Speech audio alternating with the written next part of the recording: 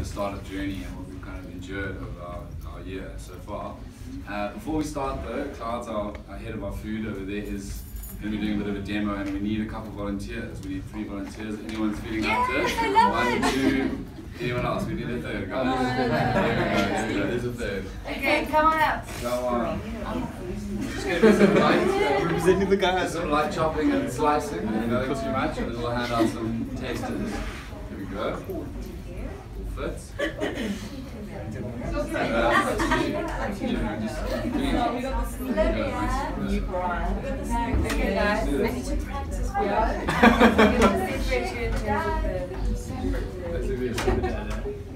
So you guys are going to be receiving uh, next Monday your first unit box on the house. Oh, Such good yes. Just started with that. Uh, this is actually this is the dish that they're going to be kind of serving. Water tasters. Maybe you guys want to give this out. And on the back of it, there is a 30% off discount card that you can you can implement onto our site and to get your 30% off your first box. So give it a crack. Leave. Um, so before we dive into the presentation, we've got a short video which we did about a year ago. Um, excuse the cheesy voiceover, you might recognize the guy from KFN, uh, but it pretty much sums up our business pretty well in a short flick.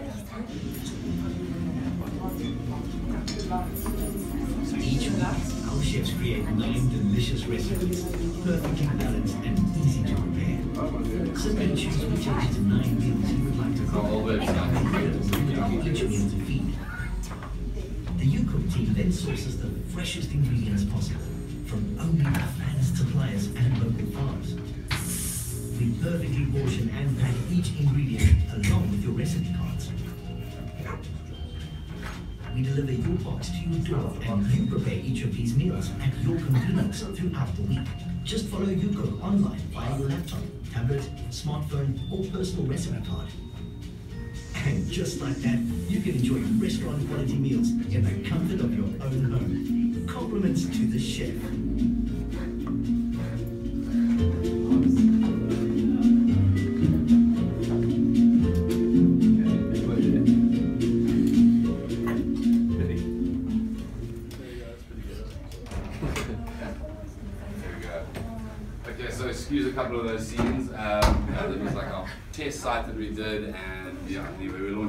Third site uh, this week, which we're quite excited about. So yeah, so that's just kind of an overview. But essentially, probably got the message now. Uh, we're an online e-commerce business.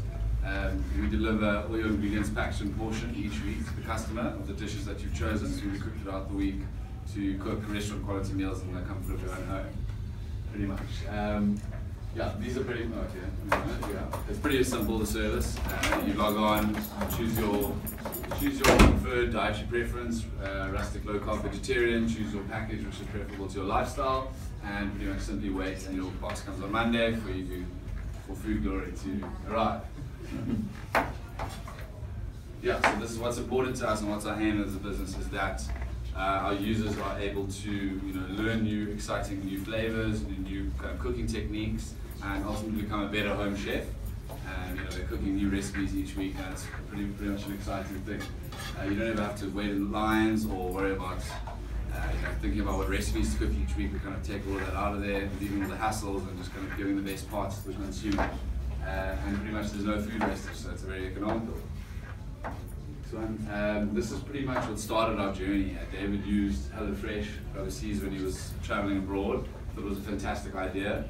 It was pretty much the time that it was launched, uh, so it was also very new. But this kind of gives you an idea of how their their kind of growth growth curve has been. It's, you know, started in 2012, Blue Apron's valued at $2 billion, $4 billion for HelloFresh, which is the most widely used service in Australia, UK, and America, and so forth and so forth. So pretty much in a nutshell, what we're saying is that uh, you know we have kind of grown to a nice point now. We've got a nice customer base. We've grown the band. Uh, we're at an exciting point.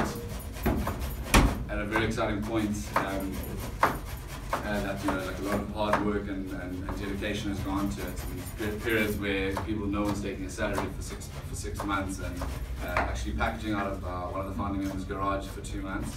So the business has kind of gotten to where it needs to be, and uh, yeah, so we're here to present to you. Dave's going to kind of take over now and kind of talk about the startup process from a humorous perspective. Uh, excuse the next couple of clips. They're kind of quite scrapbooky. It's just kind of pull of Instagram and things like that. But let's see how we go. Hi guys, my name's Dave. I know Hi, Dave.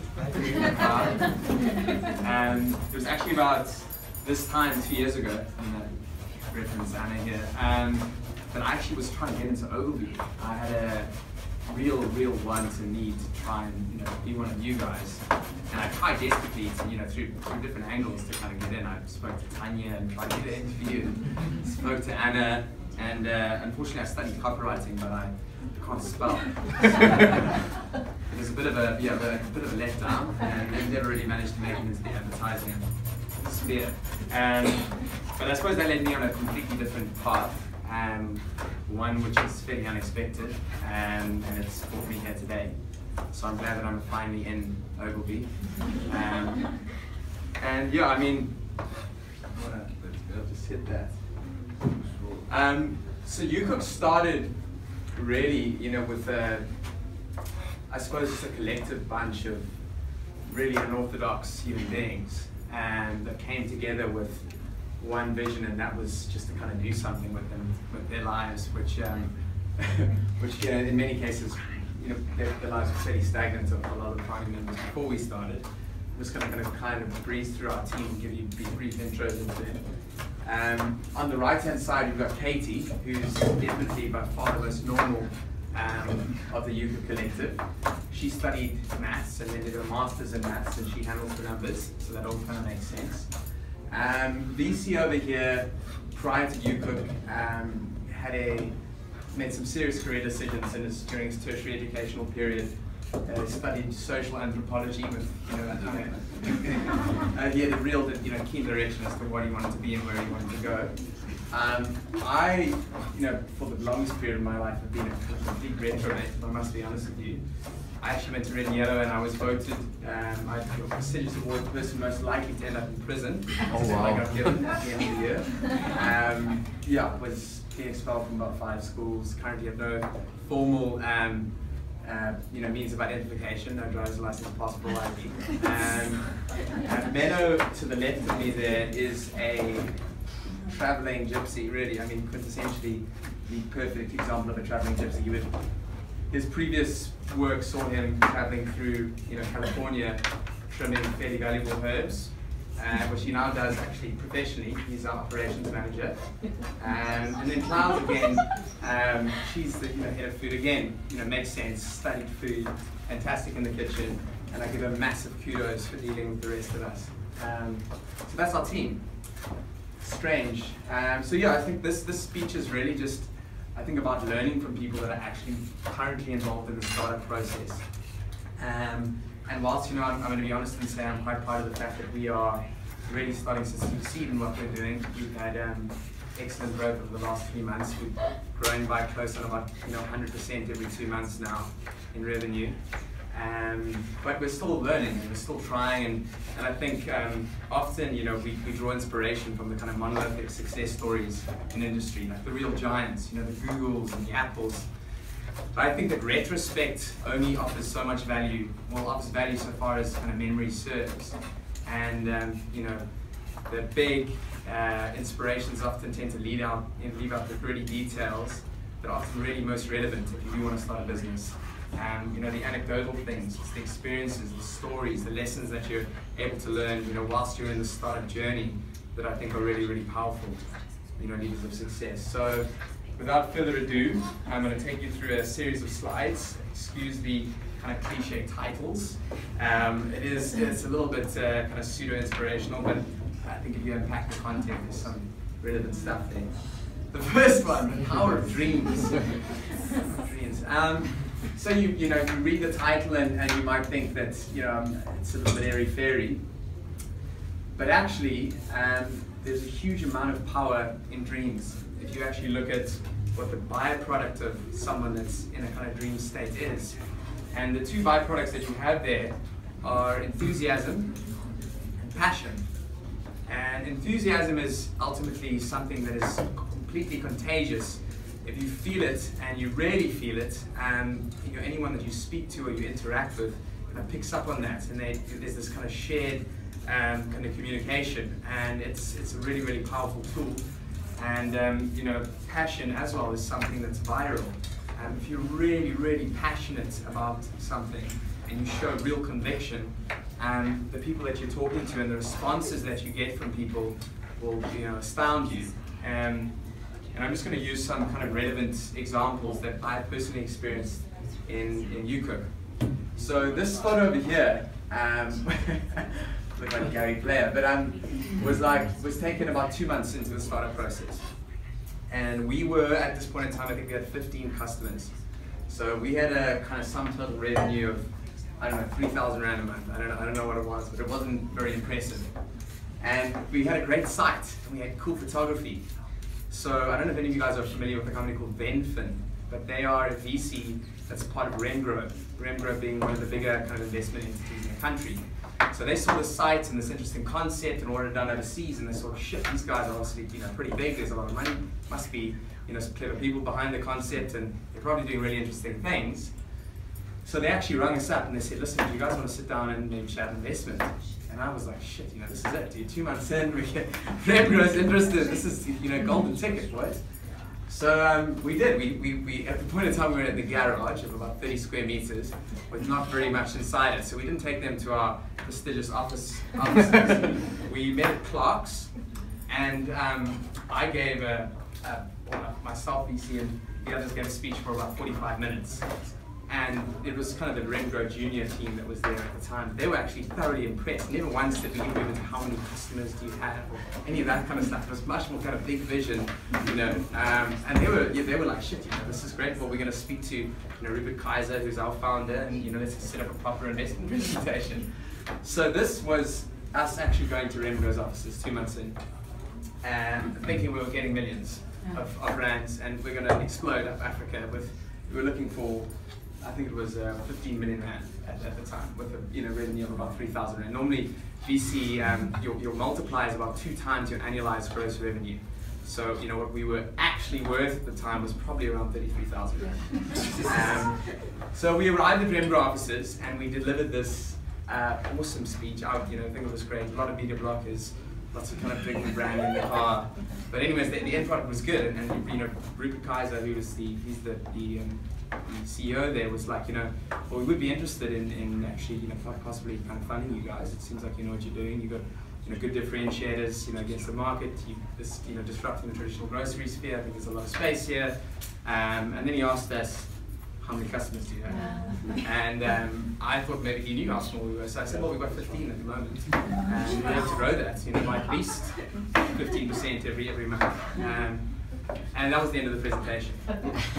so, yeah, I think you know, important thing there is is just um, we had the ability to convince these really, really professional people that we were credible and um, you know worthy of their serious interest, just because we were passionate and seriously enthusiastic about what we did.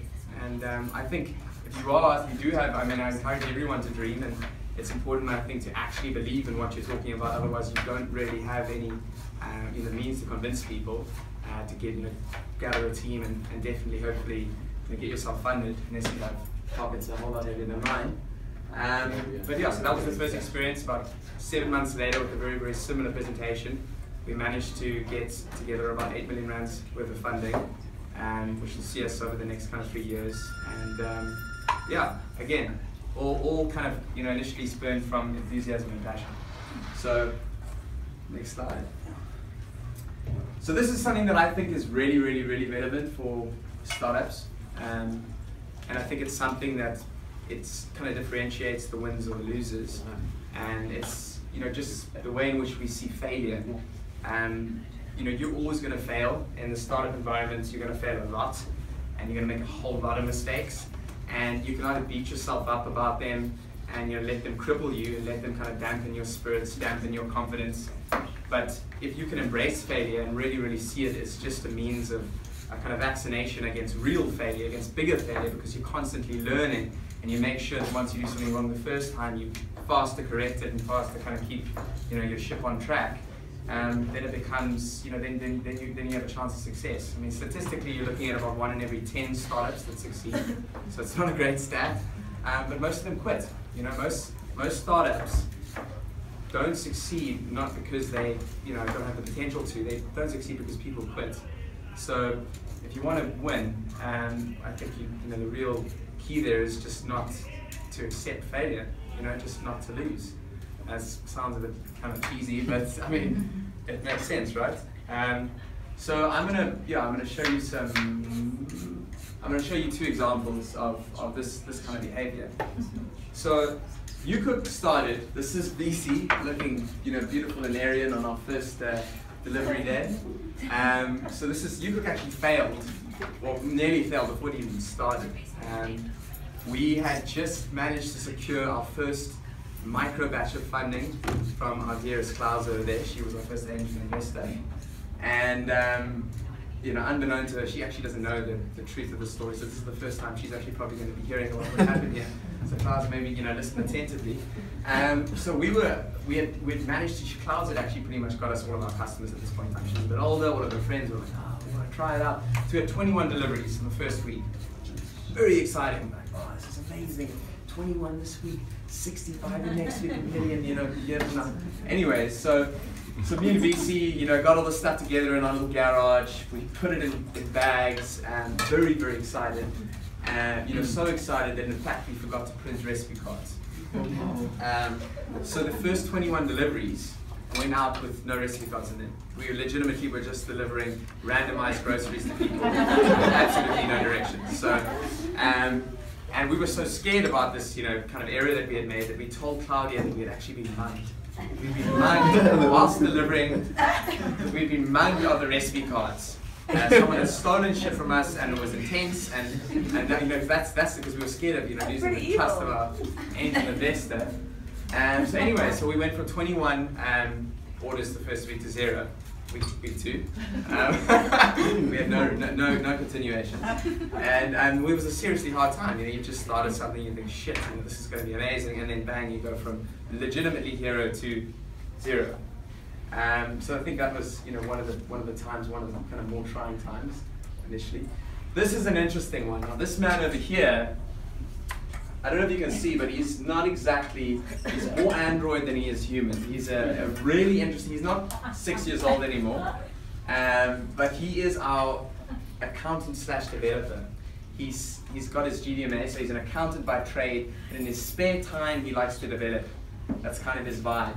And we've actually legitimately seen, I mean, he's completely monotoned, deadpan, straight shooter. We've seen him cry. We've like, it was, it was unbelievable. All of us were in complete awe um, when recently he actually deleted our website. Um, it was a really, really trying time. And uh, I mean, the website took like six months to build. And um, through bits and pieces of code that he kind of had left over, we actually managed over a two day, legitimately sleepless period. It was Red Bull, coffee, just, you know, kind of human body odor in this office for two days. And eventually we actually managed to get the website up in two days, which is amazing, right? It's like six months to build, it goes down, cool, two days up. Um, you'll be, it's, it's, you know, these are all failures. These are all things that you encounter on a regular basis when starting a business, and you just have to kind of power through them. Um, next slide. So here it is, Be Lucky. Again, a fairly cheesy title, I do apologize. Um, but I think this is, again, something that I think it's a cultural thing. Um, in the words of you know one of my inspirations, Clint Eastwood, um, luck is ill-defined in modern culture It happens when hard work meets opportunity. I think we're all, you know, all of us, you know, when we were young, we assume that you look at like, you know, Steve Jobs, you look at like Mark Zuckerberg, and you think like, shit, I was there at the right time, in the right place, and I was sitting in that, you know, frat fraternity in Harvard, and I had this idea, you know, Facebook. Definitely not the case with, you know, 99.999% of everything that kind of goes up in the startup sphere hard work, if you continuously are working hard and you're always persevering and you refuse, you know, to lose, eventually something happens and you get lucky, you know. But luck doesn't just happen. It's not right place, right time. It's all about timing and effort. And when those two, you know, kind of come together and you find a median, that's when opportunity is born. And you know, that's again been something with us. We've gone, you know, six months without salaries when we started. Uh, we were doing waitering jobs. You know, we tried to fillet 80 kilo tunas, but you know those insignificant little tiny knives and the things. And you know, there's been tears. There's been you know lots of points in times where we, we've been whole teams been like, you know, should we just pack it up? Um, but eventually something happens. You meet the right person. You make the right connection, and suddenly your business becomes something. And I mean, I've spoken to a lot of guys in the startup sphere, and it's like that in you know a lot, large amount of cases. The guys from Superbalist, for instance, a similar story trying, trying, trying, trying, trying, you know, seemingly failing until eventually something happens for them because they refuse to give up. So I think, yeah, that's, you know, again, very relevant. And then lastly, this is going to be, because I don't want to keep this too kind of lengthy, um, this for me is something that's really powerful and maybe it's something that some people are familiar with, other people are not. But it's been one of the philosophies that has kind of guided me in my entire existence. And to date, I've done a few things. I'm involved heavily with UCook, uh, also doing some um, stuff in, in, the property space and some kind of festival things. Um, but I think that it, it, the, the key to, to any kind of real success is actually just looking at the small things. So Dave Brailsford, I don't know if you guys are familiar with him, he was the performance manager of the Sky um, Tour de France team. And they had, they had never ever won the Tour de France in the history of the Tour de France and he kind of came on board as the as the performance manager. And his philosophy was that if he was able to improve absolutely every single thing that these guys were doing by just one percent, the end result would be incredible. And he did that. He you know changed like the way he got people up. Uh, you know, kind of 10 minutes earlier. He bettered people's diets by you know a marginal fraction like made sure that people were just a little bit more comfortable in their pedal, changed the pillows that the cycling team was thinking, you know, sleeping on, and, and the rest of the, the, the, guys that, you know, GDM at the time thought that he was insane. But they actually then went on to win the Tour de France three times uh, on the trot. And this philosophy, you know, micro improvements, I think is the re really the only way to make success of anything. You can have a big vision and you can have this like incredible idea that's floating out there somewhere in the cosmos, but it's all about the incremental steps that you take on a every you know on a daily basis that ultimately you know will, will allow you to succeed or fail. It's about small wins, you know, being fueled by small wins, by the small things that we encounter on a day-to-day basis. Um, and if we can get those right, if we can get just today right, and you know the few things that ultimately um, you know make up that day, um, then then you know eventually you find that it's like magic. Things just start coming together, and um, you find yourself on the path that you had hoped, you know, uh, you would be on. So that's yeah, that's that's it. If you a little bit of anecdotal stuff from from people that are still currently in the space, definitely not you know a massive success yet. We hope to be so in time. Uh, thank you very much for listening. Uh,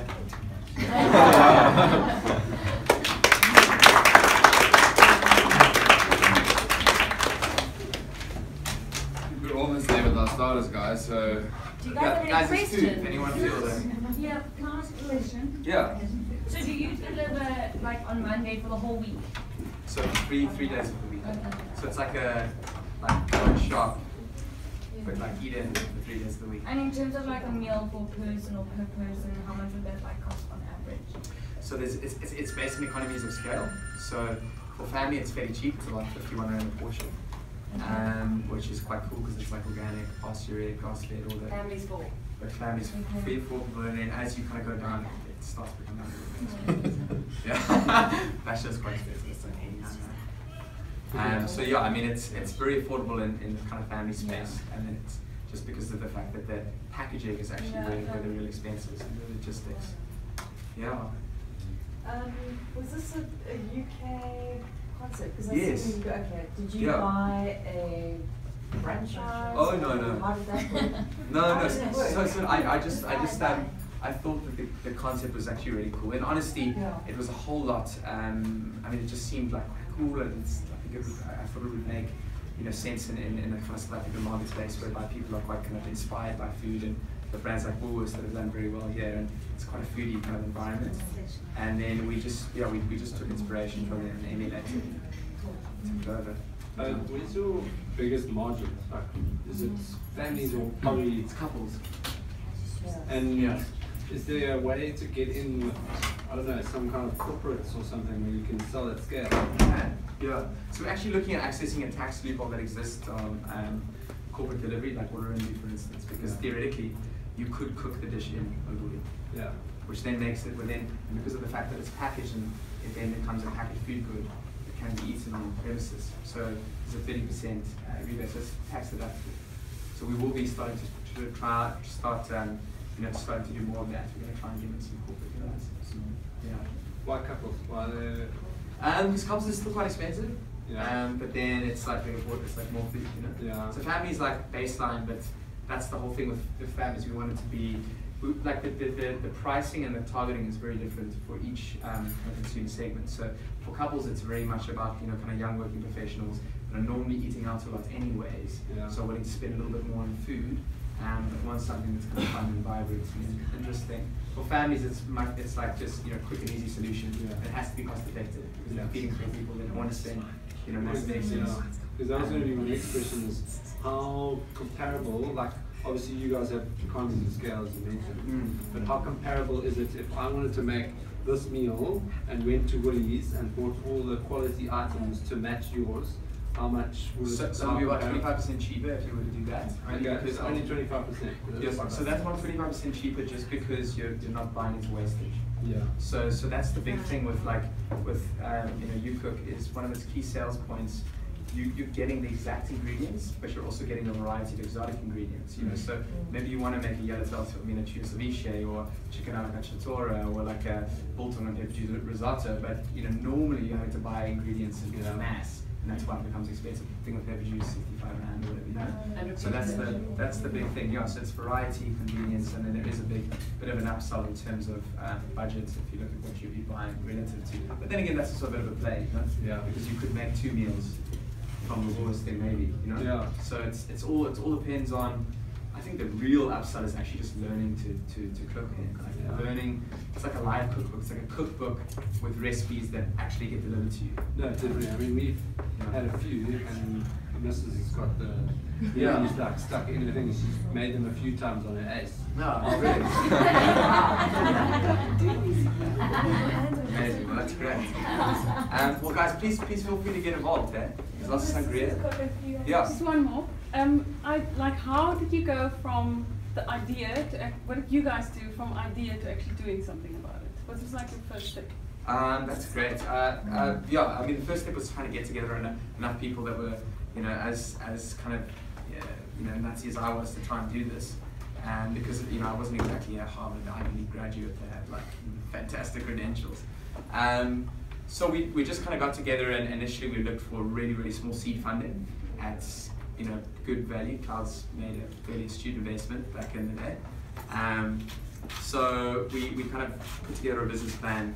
It was about 90 pages longer than it needed to be, but I was told by my stepdad that it needs to be really, really uh, detailed. And so, so the first page, I suppose, was just mapping the uh, entire idea out with very unrealistic projections. Well, at the time, it was, you know, the projections were really cool. Um, and then, yeah, just kind of getting, getting, getting that together and trying to find someone that would kind of fund it. Um, so we, we started with about 120,000 rand. Didn't get us so far.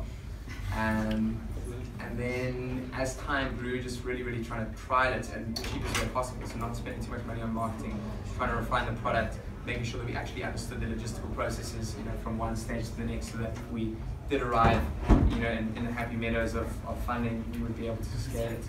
Uh, so it was a lot of just like trial and error, small scale, no salaries, lots of waitering. Um, yeah, that was it. Oh, one more question. Sure. Um, sorry for everyone that wants to eat. um, um, so basically, how, you know, Woolworths and Pick I don't know if Woolworths does it, but they deliver food to Yes. your house. So the thing is, my mom won't do it because she likes to pick the one that looks the best, obviously, and like you know, like goes to expiry dates and checks and blah blah.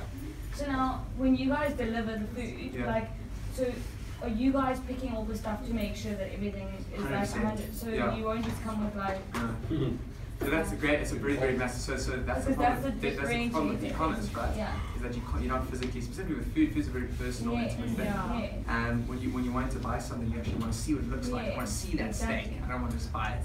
Um, so that's a big thing with us, and that's something that we've had to really, really kind of focus and hone in on. Um, so a lot of our, our vegetables are organic, and we get in, we get in, we order above and uh, beyond about 30% on, on what we should be ordering, just so that there is that kind of selection process. And mm-hmm. one of the real things is is just kind of hand picking stuff that's you know not up to scratch and kind of discarding it. So the, the quality of food, you know, from an aesthetic perspective that you're going to be receiving is always going to be on point. Um, unfortunately, sometimes organic stuff tends to kind of go degrade quite fast, you know, mm-hmm. fast. So when it arrives, it's going to look beautiful. Five days later, I can't can't guarantee Yeah. that. But we do we do focus a lot on that because that's you get something that's you know doesn't look ideal No, yeah. compared to Woolworths and it's just big then Yeah. not going to work. You know. Cool. Yeah. With- With that in mind, I know it's like a topic at the moment about like mis- misshapen uh, Yes. organic foods. Do you Lots pay much yes. attention to that? So Because someone, one of us might order it and see like an oddly shaped You know cucumber what? and go, So, so, so, so you, yeah. Um, yes and no. Um, I think to an extent we, we probably want stuff that has that doesn't look completely alien. Mm. Um, but we do tend to find that some of the vegetables that we get, um, you know, from Aberdeen and, and these kind of places, are quite kind of wonky. Yeah. Uh, we do actually try all of the produce prior to it going out. So everything that you guys have eaten, we've actually physically cooked up. And so we've made sure that you know, if it looks a little bit strange, the taste and the quality of the veg itself or, you know, is, is, is up to standard. But that is something with organic. It does tend to look a bit strange. Yeah. And we try to control that, you know, to the best degree we can. Obviously, you can't really. No. But it's just like a movement that I've seen people pushing back and saying there's so much wastage these days that we gives a shit what it looks like. Yeah, that's a big thing. That's going to be our next big challenge is trying to move away from as much packaging as we can, or maybe into like a more um, kind of ethically friendly um, packaging, you know, like visual kind of stuff. So we're trying to sort out a deal there that makes sense. So there's so much. That's the one thing with this service. Even though we do recycle, for those that don't, there's just so much stuff going out, you know. Um, but we're really trying to find a solution there. Yeah. Cool clouds. I'm gonna I'm gonna have a glass of sangria. Um, This is tuna ceviche. Yeah. Freshly caught